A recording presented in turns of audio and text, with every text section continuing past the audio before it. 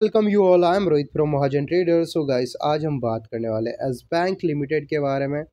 और गाइस मैंने बोला था एस बैंक में गिरावट गिरावट आने वाली और उसकी शुरुआत हो गई है गाइस आज स्टॉक में गिरावट का यहाँ पर कंफर्मेशन मिल गया है कि स्टॉक में गिरावट रहेगी। बट कितनी रहेंगी, कितना स्टॉक गिरेगा, वो मैं इस वीडियो में बताने वाला हूँ। अगर आप इसके शेयर होल्डर्स हो तो गाइस प्लीज़ थोड़ा अवेयर रहिए, थोड़ा संभल कर। क्योंकि गिरावट काफ़ी तगड़ी रह सकती है, स्टॉक दस रुपये तक भी आ सकता है या फिर उससे नीचे भी स्टॉक गिर सकता है।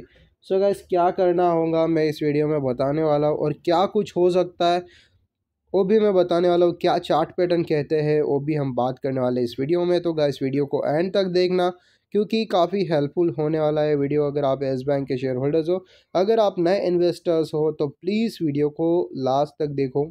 क्योंकि आपको बड़ी अपॉर्चुनिटी इसमें मिल सकती है ख़रीदारी करने के लिए।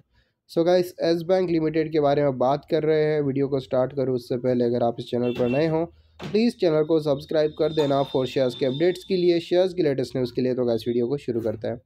तो गैस बात कर रहे हैं एस बैंक लिमिटेड की। आज क्लोजिंग दी है स्टॉक ने तेरह रुपये ज़ीरो पाँच पैसे पर। सो गैस यहाँ पर क्लोजिंग दी है तेरह रुपये ज़ीरो पाँच पैसे पर। वही गैस अगर देखा जाए चार्ट को तो चार्ट यहाँ पर हम देखते हैं पहले वन हावर टाइम फ्रेम पर तो क्या कुछ हो सकता है? तो वन हावर टाइम फ्रेम पर अगर देखा जाए तो यहाँ पर आप देख सकते हो, यहाँ से स्टॉक सपोर्ट लेता हुआ नज़र आ रहा था। सपोर्ट लेके स्टॉक ऊपर गया और यहाँ पर स्टॉक को रिजेक्शन मिला। रिजेक्शन मिला, फिर ऊपर गया, फिर रिजेक्शन मिला, फिर नीचे की ओर सपोर्ट लिया। फिर यहाँ पर हुआ था गैप अप गैप अप होने के बाद सिर पे स्टॉक ऊपर गया और गैप अप जब भी होता है तो गाइस गैप फिल करने के लिए स्टॉक नीचे आता ही है तो स्टॉक नीचे आया गैप फिल किया और यहाँ पर इसने ब्रेकआउट दे दिया।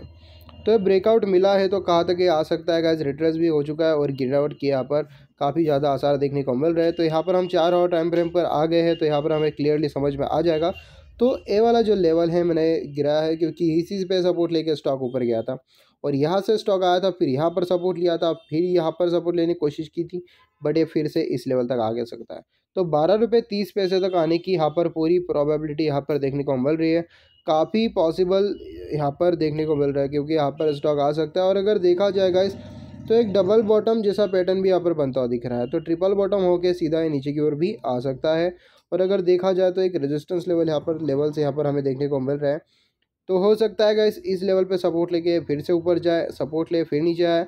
तो ऐसे भी यहाँ पर कंडीशन यहाँ पर हमें देखती हुई हमें मिल रही है। तो गाइस अगर ये साढ़े बारह, यहाँ पर आप देख सकते हो बारह रुपये बीस पैसे के लेवल पर भी यहाँ पे ब्रेक कर देता है तो ये और नीचे आ सकता है, लगभग दस रुपये पैंतालीस पैसे तक। तो यहाँ पर दोनों तरफ़ यहाँ पर काफ़ी तगड़े यहाँ पर गिरावट हमें देखने को मिल सकती है। तो शेयर होल्डर्स हो तो आप वेट कर सकते हो बारह रुपये तीस पैसे का इतना लॉस तो आप झेल ही सकते हो गैस क्योंकि येस बैंक काफ़ी एक मल्टीमेकर स्टॉक का आने वाले टाइम में और काफ़ी पॉजिटिव चीज़ें भी इसमें नज़र आ रही थी बट अब देखना होगा कि क्या कुछ स्टॉक में होता है। तो गैस बढ़ते हैं आगे एस बैंक में। तो आप पर देख सकते हो आपकी क्या कुछ पाँच दिन के टाइम फ्रेम पर देखने को मिल रहा है। ज़ीरो पॉइंट पच्चीस पैसा स्टॉक गिरा है one point eighty eight percent के हिसाब से। वही गाइस वन मंथ में कितना गिरा है तो आप देख सकते हो ज़ीरो पॉइंट नाइन्टी रुपीज़ तक स्टॉक गिर गया है और minus six point forty five percent की गिरावट है। बढ़ते हैं आगे छः महीने के टाइम फ्रेम पर देखते हैं कि क्या कुछ है। तो यहाँ पर ज़ीरो पॉइंट थर्टी रुपीज़ तक स्टॉक गिरा है, two point twenty five percent के हिसाब से। वही अगर देखा जाएगा इसके यहाँ पर स्टॉक ओपन हुआ था, क्या कुछ स्टॉक में हुआ है तो यहाँ पर देख सकते हो। तेरह रुपये पर स्टॉक ओपन हुआ था, तेरह रुपये पंद्रह पैसे का स्टॉक ने हाई लगाया। देखा जाए तो बारह रुपये पचानवे पैसे का स्टॉक में लो भी हमें देखने को मिल रहा है। मार्केट कैप अगर देखा जाए तो बत्तीस पॉइंट बासठ हज़ार करोड़ का मार्केट कैप है। यहाँ पर मार्केट कैप के हिसाब से तो क्लियरली पता चल जाता है कि एक मिड कैप स्टॉक है। और गैस वही अगर देखें तो फिफ्टी टू एक्स के हाई और फिफ्टी टू एक्स के लो को तो यहाँ पर हम देख सकते हो। जो इसका हाई है वो देख सकते हो आप, बीस रुपये पचहत्तर पैसे का है और बावन वीक का जो लो है, दस रुपये पचास पैसे का दिख जाएगा। तो गैस सब बात करते हैं क्या कुछ यहाँ पर रजिस्टेंस एरियाज़ और सपोर्ट एरियाज़ है। रजिस्टेंस लेवल की अगर बात करें प्योर लेवल्स तो यहाँ पर अगर देखा जाए तेरह रुपये सत्रह पैसे का यहाँ पर फ़र्स्ट रेजिस्टेंस लेवल है। सेकंड रेजिस्टेंस लेवल अगर देखा जाए तेरह रुपये अट्ठाईस पैसे का है। थर्ड रेजिस्टेंस लेवल अगर देखें, तेरह रुपये सैंतीस पैसे का दिख जाएगा। सपोर्ट लेवल अगर देखा जाए, बारह रुपये सत्तानवे पैसे का फ़र्स्ट सपोर्ट लेवल है। सेकंड सपोर्ट लेवल अगर देखें तो यहाँ पर आपको दिख जाएगा बारह रुपये अट्ठासी पैसे का। यहाँ पर थर्ड सपोर्ट लेवल अगर देखो तो बारह रुपये सतहत्तर पैसे का यहाँ पर सपोर्ट लेवल भी देखने को मिल रहा है। सो गैस अब देखते हैं कि क्या कुछ यहाँ पर प्राइस परफॉर्मेंस देखने को मिल रहा है। तो आज तो ज़ीरो पॉइंट ज़ीरो ज़ीरो है। यहाँ पर कल प्लस में था बट यहाँ पर अभी यहाँ पर यहाँ पर भी प्लस में ही दिखने को मिलेगा, क्योंकि ये माइनस में भी नहीं है, ना ही प्लस में। तो गैस यहाँ पर अगर देखा जाए वन मंथ का तो माइनस में आपको दिखने वाला है। Minus one point fifty two percent तक ये माइनस में है। और गाइस वही कर थ्री यहाँ पर थ्री मंथ्स का देखा जाए तो प्लस में है। Fifteen point fifty six percent ये प्लस में है। ईयर ऑन हाफ़ का अगर देखा जाएगा इस तो यहाँ पर आप देख सकते हो minus twenty seven point seventeen percent है। और गाइज़ वही वन ईयर का अगर देखा जाए तो यहाँ पर देख सकते हो minus eleven point twenty six percent है। थ्री ईयर्स का अगर देखा जाए minus ninety three point nineteen percent के आसपास का यहाँ पर दिख जाएगा। तो गाइज़ इस परफॉर्मेंस हमने डिस्कस कर लिया। अब देखते हैं कि क्या कुछ ट्रेड वैल्यू हमें देखने को मिल रहे हैं। ट्रेड वैल्यू के हिसाब से अगर देखा जाए तो यहाँ पर क्या हमें पता चलता है? तो ट्रेड वैल्यू इंपॉर्टेंट होती है और ट्रेड वैल्यू में अगर देखा जाए तो आज काफ़ी तगड़ी हुई है। पर तो भी स्टॉक में गिरावट आ सकती है, क्योंकि अठारह अठारह करोड़ के आसपास का ट्रेड वैल्यू हुआ है और छः करोड़ के आसपास की यहाँ पर कॉम्बिनेट डिलीवरी आपको देखने को मिल रही है।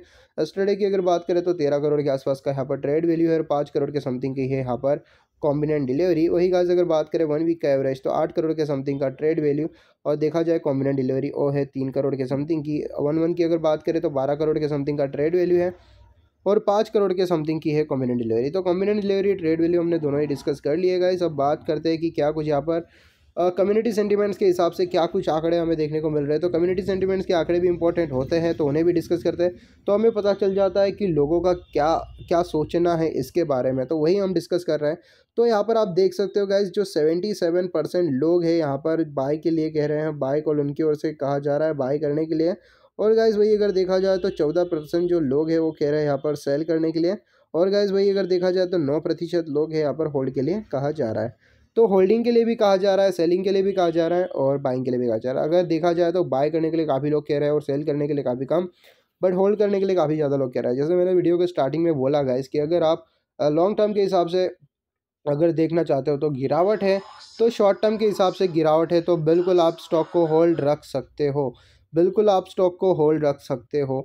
तो कैसे अब बात करते हैं रेवेन्यूज़ की। तो रेवेन्यूज़ अगर देखा जाए तो यहाँ पर आप देख सकते हो 2017 का जो रेवेन्यू है, वो है सोलह हज़ार चार सौ पच्चीस करोड़ प्लस में है। 2018 का जो रेवेन्यू है, बीस हज़ार दो सौ अड़सठ करोड़। 2019 का जो रेवेन्यू है, वो है उनतीस हज़ार छः सौ तेईस करोड़ के आसपास का। 2020 का जो रेवेन्यू है, छब्बीस हज़ार बावन करोड़ है। 2021 का जो रेवेन्यू है, बीस हज़ार उनचालीस करोड़। तो रेवेन्यूज़ अगर देखा जाए तो रेवेन्यूज़ भी हमने डिस्कस कर लिया, अब बात करते हैं नेट प्रॉफिट की। तो नेट प्रॉफिट अगर देखा जाए तो यहाँ पर आप देख सकते हो 2017 से 2019 का जो नेट प्रॉफिट है, वो हम डिस्कस कर लेते हैं। तो 2017 का जो नेट प्रॉफिट यहाँ पर प्लस में था, तीन हज़ार तीन सौ चालीस करोड़, दो हज़ार अठारह का नेट प्रॉफिट चार हज़ार दो सौ तैंतीस करोड़ प्लस में है। दो हज़ार उन्नीस का नेट प्रॉफिट यहाँ पर एक हज़ार सात सौ नौ करोड़ प्लस में दिख जाएगा। अब बात कर लेते हैं यहाँ पर माइंड यहाँ पर नेट प्रॉफिट की तो क्या कुछ हमें देखने को मिल रहा है? क्या है? तो यहाँ पर अगर देखो तो यहाँ पर माइनस में है। माइनस बाईस हज़ार सात सौ तीस करोड़ है और दो हज़ार इक्कीस का देखा जाए तो माइनस तीन हज़ार चार सौ नब्बे करोड़ है।